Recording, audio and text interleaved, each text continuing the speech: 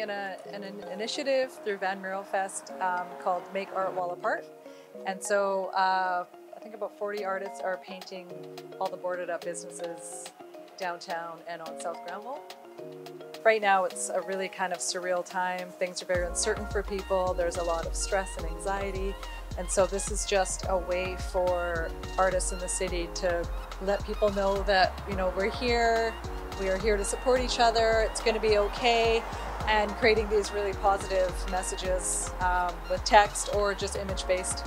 I wanted to create something really playful and really fun, light, um, using really bright colors. People love folk art animals, and so I just wanted to have these cheeky little animals with little messages um, to just kind of uplift people.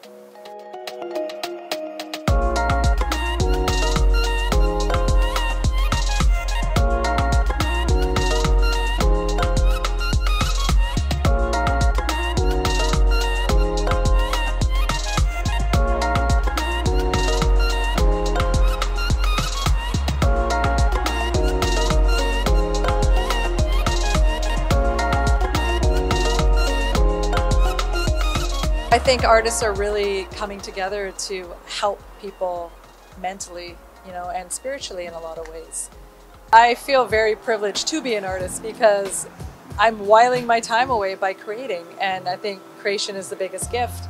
And I think artists and writers and all kinds of creatives are putting content out there for people to use for free to help relieve all the anxiety and the stresses people are feeling right now. And it's just another think another way for people to realize and understand that arts are such an important part of our culture and that we need to make sure that we are um, supporting it and funding it.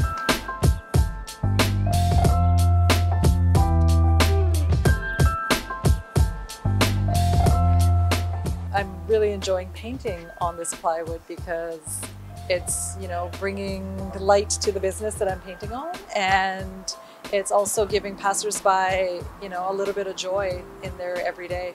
I hope it makes them smile. I hope it gives them just like a little temporary relief from everyday stress.